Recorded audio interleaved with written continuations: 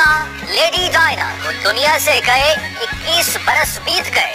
उन्नीस सौ सतानवे में पेरिस में कार हादसे में जान की बाजी हारने वाली। बरतानवी शहजादी हमेशा इंसानियत की खिदमत में पेश पेश रही।